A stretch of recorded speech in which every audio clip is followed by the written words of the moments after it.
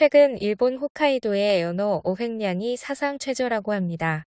또한 올해의 어획량이 줄어든 사상 최저의 현상은 40년 만이라고 합니다. 40년 만의 어획량 최저 현상은 해양 환경 변화로 일본에서는 보고 있습니다.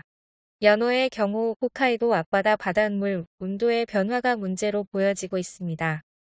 이러한 홋카이도 앞바다의 바닷물 온도 변화는 심해어가 동북 지역에서 나타나고 있는 우려와도 일맥상통하는 대지진의 전조현상으로 판단되고 있으니 동북 지역 아우모리현 앞바다와 홋카이도는 대지진에 주의가 필요해 보입니다.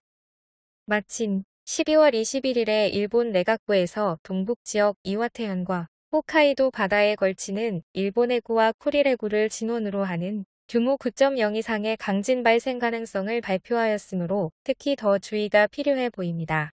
또한 올해 2021년에는 도카라열도에서 500번이 넘는 지진이 발생을 하고 있으며 내년 2022년은 태양 흑점 11년 주기에 11년째 되는 날이므로 도카라열도의 비정상적인 군발 지진 500번, 이상과 태양 흑점 11년째 되는 11년 주기가 되는 2022년이므로 일본의 대지진에 주의가 필요합니다.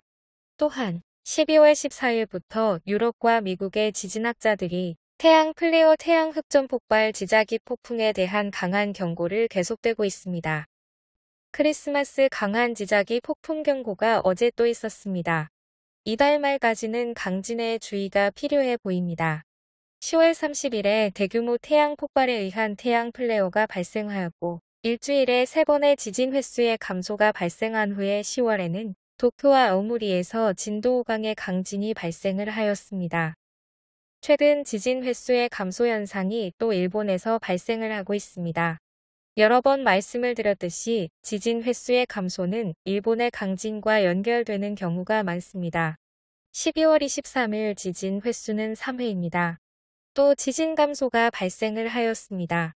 지진 횟수가 3일 연속 감소되는 지진 발생 이후에 진도 5가 3회 일어났습니다.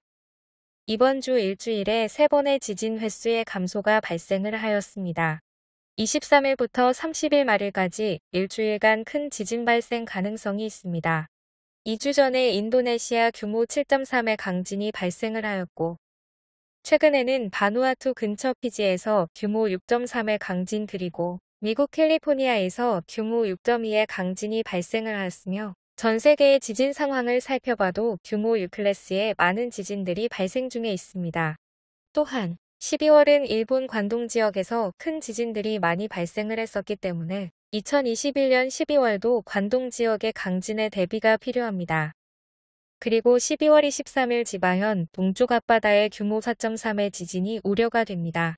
왜냐하면 12월 22일 수요일 일본 지바현 지진 관측소에서 비정상적인 이상치의 지진 데이터가 관측이 된 후에 하루 뒤인 23일에 지바현 동쪽 앞바다에서 지진이 발생을 했기 때문입니다.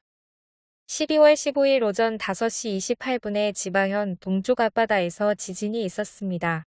일주일 전입니다. 12월 초에는 도리시마와 지바현 앞바다에서 분발 지진이 발생을 하였고 그 후에 야마나시현과 와카야마현에서 진도 오약이 발생을 하였습니다.